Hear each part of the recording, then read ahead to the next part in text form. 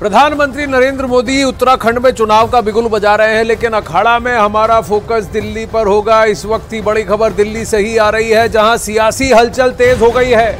अरविंद केजरीवाल के घर पर आम आदमी पार्टी के विधायक और मंत्री पहुँच रहे हैं। ये सभी विधायक अरविंद केजरीवाल की पत्नी सुनीता केजरीवाल से मिलने के लिए पहुँचे हैं।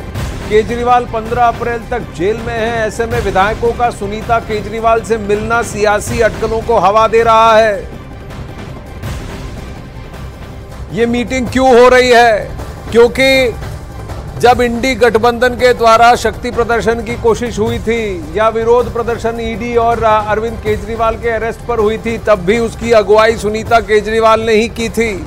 क्या अटकलें इस बात की तेज हो रही हैं?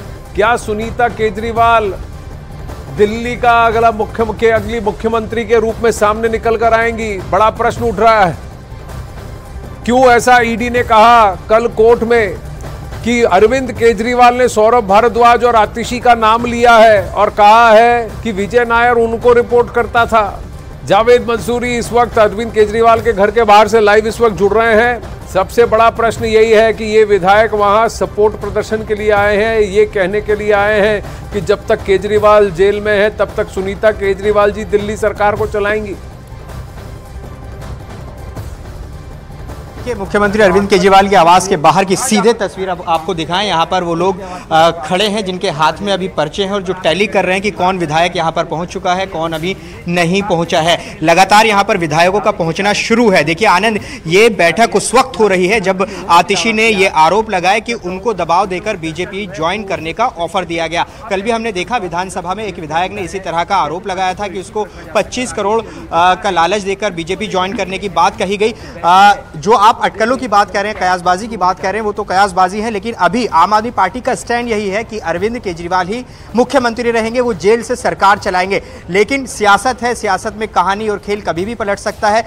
फ़िलहाल जो विधायक है उनका पहुँचना शुरू है और जो बड़ी बात यह है हम्म। जिसमें दिल्ली सरकार के सभी मंत्री हैं वो पहुँच चुके हैं। विधायक पहुँच रहे हैं। अभी जो सिविल लाइन और उसके आसपास ट्रैफ़िक बहुत ज़्यादा है हम भी यहाँ पर पहुँचे हैं तो और पहुँचने में थोड़ा सा वक्त बाकी विधायकों को भी लग रहा है। फ़िलहाल जो काफ़ी संख्या में विधायक अंदर मौजूद है। क्या निकल कर आएगा? आधिकारिक तौर पर यह तो इंतज़ार करना होगा लेकिन ज़रूर इस सियासी घटनाक्रम दिल्ली में बहुत तेज़ी से निकल कर सामने आ रहा है बहुत सारी अटकलें हैं बहुत सारे प्रश्न उठ रहे हैं क्या सुनीता केजरीवाल को दिल्ली का अगला मुख्यमंत्री चुना जाएगा? क्या ये लालू का बिहार मॉडल है जहाँ राबड़ी देवी उनके पक्ष में आई थी उनकी जगह आई थी तो क्या वही मॉडल यहाँ दिल्ली में हमें देखने को मिलेगा?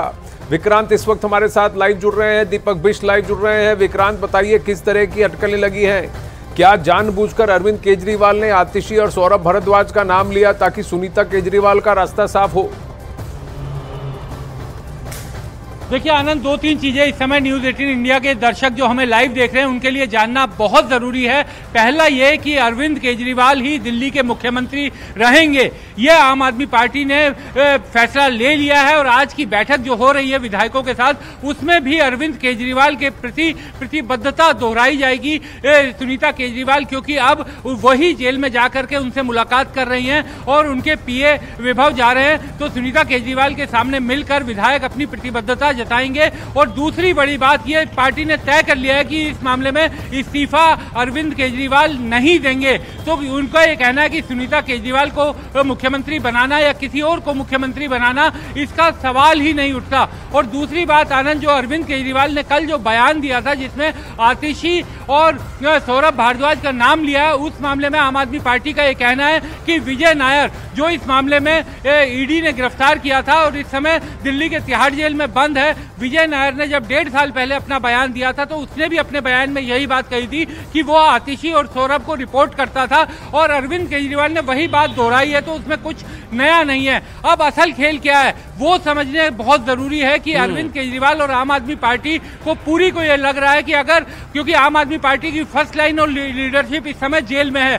सेकेंड लाइन ऑफ़ लीडरशिप का खतरा है। विजय नायर के हम्म। भी अगर हम बयान की बात करें अगर उसने भी नाम लिया था डेढ़ साल पहले तो पूछताछ तो कर ही सकती है ईडी। और इस समय चुनाव सामने है। अगर सेकेंड लाइन ऑफ़ लीडरशिप पर खतरा आया तो बहुत बड़ी दिक्कत आम आदमी पार्टी के लिए हो जाएगी। प्रचार में दिक्कत होगी फैसले लेने में दिक्कत होगी। होगी। ये तमाम चीज़ें। तो अब दो ही विकल्प मुझे दिखाई दे रहे हैं। या तो अरविंद केजरीवाल की जगह विधायक दल का नेता कोई चुना जाए जो होता हुआ नहीं दिख रहा तो क्या दिल्ली संवैधानिक संकट के तहत बर्खास्तगी की ओर कदम बढ़ा रही है? ये भी एक बहुत बड़ी प्रबल संभावना है क्योंकि दिल्ली के उपराज्यपाल कह चुके हैं कि जेल से सरकार नहीं चलने देंगे। हाईकोर्ट ये कह चुका है कि हालाँकि संवैधानिक तौर पर कोई रोक नहीं है लेकिन क्योंकि ये न्यायिक हस्तक्षेप का मामला नहीं है ये कार्यपालिका का फैसला है और अगर राज्यपाल को उपराज्यपाल को कुछ लगता है तो वो फैसला लेंगे राष्ट्रपति को अपनी रिपोर्ट भेजेंगे। तो आप इन दोनों विकल्प के अलावा दोनों तरफ़ प्रश्न ये उठते हैं कि अरविंद केजरीवाल अगर मनीष सिसोदिया और सत्येंद्र जैन से इस्तीफा मांग सकते हैं और उनसे कह सकते हैं कि जब तक आप जेल में हैं तब तक आप इस्तीफा दे दीजिए और आपके मंत्री पद को किसी और को दे दिया जाएगा। तो बतौर मुख्यमंत्री क्या अरविंद केजरीवाल कंटिन्यू कर सकते हैं? क्योंकि ये प्रश्न भी उठ रहा है। इधर अब खबर आ रही है कि अरविंद केजरीवाल तिहाड़ जेल में है और आम आदमी पार्टी दावा कर रही है कि केजरीवाल जेल से सरकार चलाएँगे, लेकिन जेल मैनुअल के मुताबिक केजरीवाल का जेल से सरकार चलाना बहुत मुश्किल है। और कहीं ना कहीं एलजी साहब ने भी इस बार संकेत कर दिए हैं, दे दिए हैं कि जेल से सरकार नहीं चल पाएगी।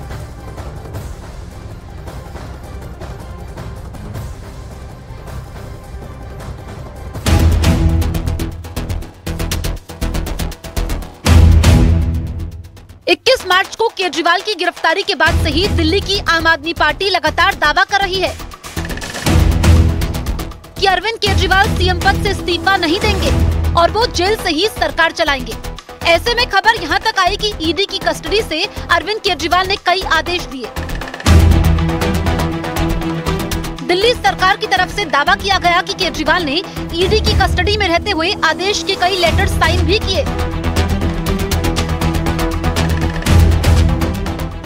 बाद में ईडी की तरफ़ से इस तरह के किसी भी आदेश और लेटर पर साइन की बात से इनकार कर दिया।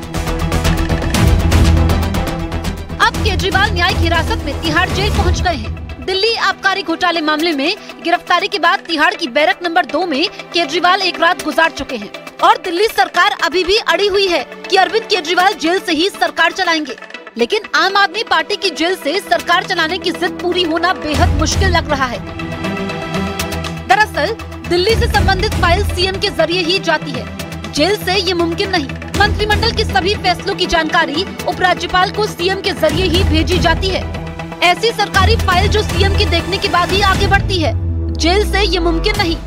जेल में सीएम केवल न्यायिक ज़रूरत के कागजों पर हस्ताक्षर कर सकते हैं। सरकारी फ़ाइल के साथ ये मुमकिन नहीं। सीएम अपने मंत्रिमंडल के सहयोगियों से मुलाकात नहीं कर सकते, क्योंकि उनकी मुलाकातियों के नाम में वो शामिल नहीं है। ऐसे में सरकारी आदेश कैसे पारित कर सकते हैं? कैबिनेट के फैसले लेना, आधिकारिक दस्तावेज़ पर हस्ताक्षर करना, जेल से ये मुमकिन नहीं। रोज़मर्रा के प्रशासनिक कामकाज का संचालन लगभग नामुमकिन। हालाँकि दिल्ली हाईकोर्ट जेल से सरकार चलाने पर रोक की याचिका को ये कहकर खारिज कर चुका है कि ये कार्यपालिका का विषय है। लिहाजा इस पर फैसला उपराज्यपाल, राष्ट्रपति या फिर केंद्र सरकार को लेना है। इसमें न्यायिक दखल का कोई स्कोप नहीं है। केजरीवाल देश के इतिहास में पहले ऐसे मुख्यमंत्री हैं, जिन्हें पद पर रहते हुए गिरफ़्तार किया गया है। और पहले गिरफ्तारी और उसके बाद न्यायिक हिरासत में भेजे जाने के बावजूद अरविंद केजरीवाल ने सीएम पद से इस्तीफा नहीं दिया है।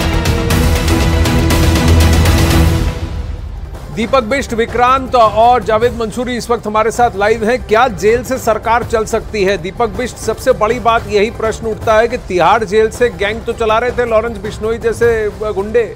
लेकिन अरविंद केजरीवाल जैसे व्यक्ति, जैसे नेता, जैसे दिल्ली के मुख्यमंत्री क्या जेल से बैठकर सरकार चला सकते हैं?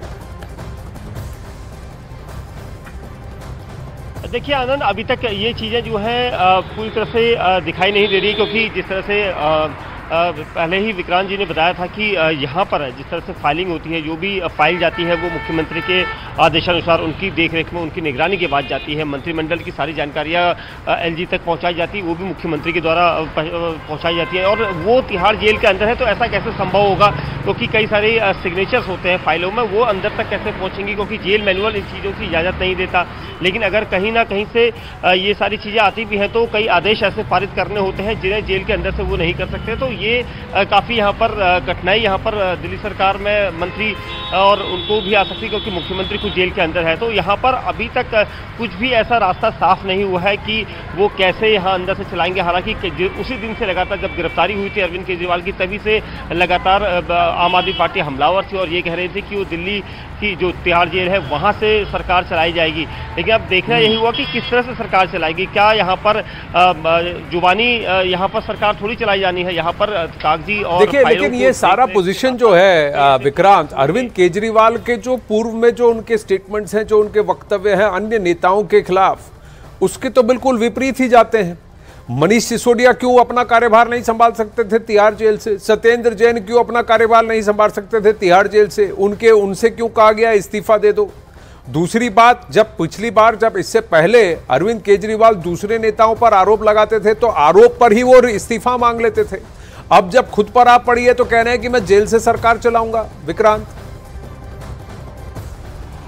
देखिए, आनंद, इस मामले में जो सवाल उठ रहे हैं, वो नैतिकता के सवाल हैं और निश्चित तौर पर आम आदमी पार्टी और मुख्यमंत्री अरविंद केजरीवाल को इन सवालों का सामना करना पड़ेगा। अरविंद केजरीवाल कोई सामान्य राजनीतिक पार्टी के नेता नहीं है, वो आंदोलन से निकली हुई पार्टी के नेता है और आंदोलन भी ऐसा जो जनता के बीच से शुरू हुआ। जनता के बीच में, जनता के समर्थन से उन्होंने आंदोलन खड़ा किया और उस समय सबसे अलग होने का दावा किया गया था। लेकिन अब परिस्थितियाँ ऐसी बन गई हैं, जो हम देख रहे हैं कि मुख्यमंत्री जेल में है और वो उनकी पार्टी ये कह रही है कि हम जेल से ही सरकार चलाएँगे। नैतिक सवाल ज़रूर उठते हैं और नैतिकता के सवालों के जवाब कोई भी व्यक्ति व्यक्तिगत तौर पर ही दे सकता है या पार्टी दे सकती है। लेकिन एक बात जो सबसे बड़ी महत्वपूर्ण है कि आम आदमी पार्टी को जो मुझे बातचीत करने से लग रहा है उनके बड़े नेताओं से कि आम आदमी पार्टी को यह लग रहा है कि इस समय सामने चुनाव है। अगर इस समय अरविंद केजरीवाल की गिरफ्तारी के कारण उन्होंने पद छोड़ा तो पार्टी के लिए बड़ी मुश्किल हो जाएगी क्योंकि वो पार्टी के एकमात्र सर्वमान्य नेता हैं। उन्हीं के बूते ये पार्टी एकजुट है उन्हीं के साथ एकजुट है।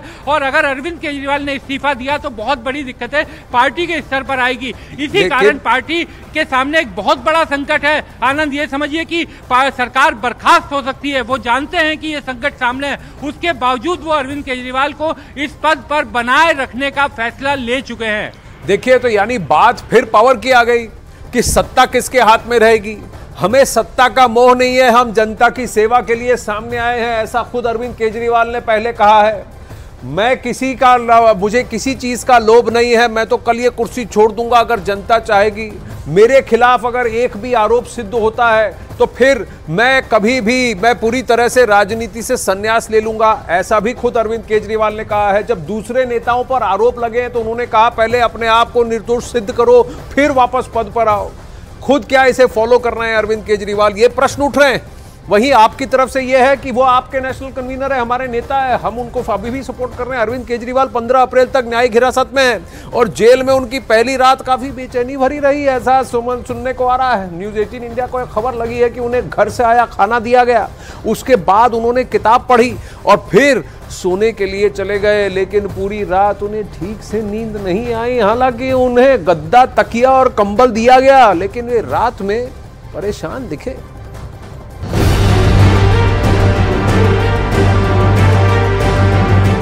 जेल में केजरीवाल की पहली रात बेचैनी भरी रही। वो परेशान से रहे।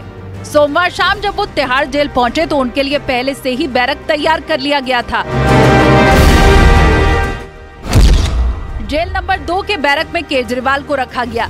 बैरक की लंबाई 14 फीट, चौड़ाई 8 फीट। केजरीवाल की बैरक में एक टीवी लगा है। सीमेंट का ऊँचा चबूतरा बना हुआ है। बैरक के बाहर चार सुरक्षा कर्मी हमेशा तैयार रहेंगे। बैरक में सीसीटीवी लगा हुआ है। अरविंद केजरीवाल को डायबिटीज़ की शिकायत है। ऐसे में उन्हें उसी के मुताबिक स्पेशल डाइट और खाने की सुविधा दी जाती रहेगी।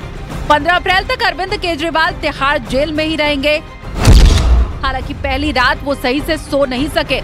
रात में बेचैन रहे। बीच बीच में नींद खुलती रही। सुबह केजरीवाल ने चाय और बिस्किट का नाश्ता किया। केजरीवाल जेल में अखबार पढ़ सकते हैं, किताब पढ़ सकते हैं और सुबह कुछ समय के लिए बैरक के बाहर रह सकते हैं। लेकिन बाद में उन्हें बैरक में लौटना पड़ सकता है। केजरीवाल अपनी बैरक में टीवी देख सकते हैं। और जेल नियमों के मुताबिक उन्हें अपने परिवार के लोगों से मिलने की इजाज़त भी दी गई है।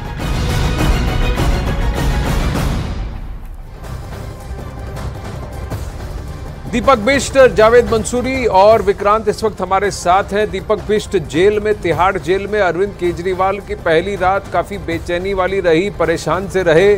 बहुत सारी परेशानी है अरविंद केजरीवाल को, लेकिन कौन से जेल में है? एक तरफ़ मनीष सिसोदिया जेल नंबर एक में है, जेल नंबर सात में सत्येंद्र जैन है, अरविंद केजरीवाल कौन सी जेल में है और उनके, उनको विज़िट करने के राइट्स किन के पास हैं और क्या इस पे भी कोई एक समय सीमा है?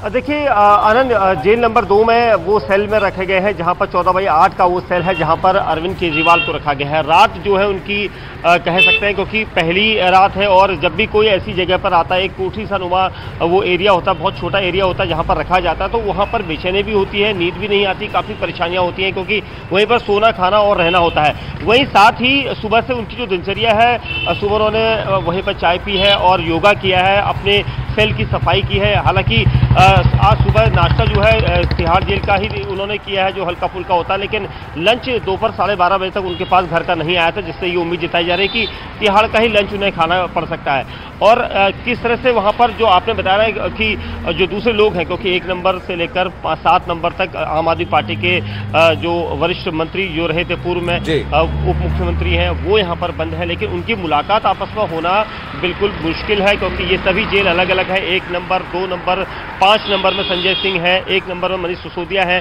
सात नंबर में सत्येंद्र जैन है तो इन सबको एक साथ मिलना इनका मुश्किल है क्योंकि ये सभी जेल है और इन सभी जेल में अलग अलग कैदी होते हैं और इसलिए इन सबकी मुलाकात कहीं से भी संभव अभी तक नहीं है।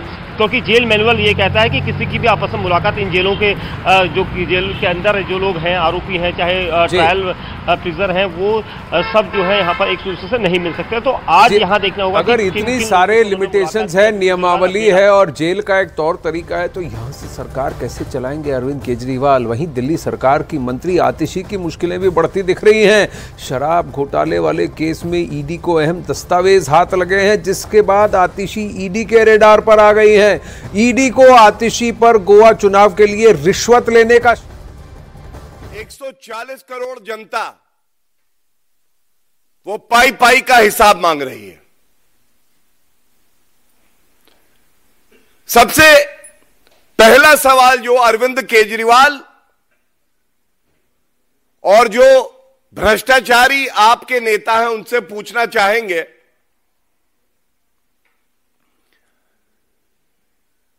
ये जो न्यायालय जाते हैं अरविंद केजरीवाल, और अब आप गिनिएगा। अरविंद केजरीवाल जी,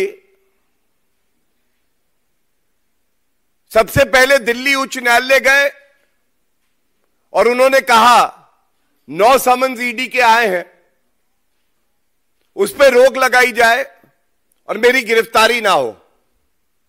पहली चोट, दिल्ली उच्च न्यायालय ने कहा, प्रथम दृष्टया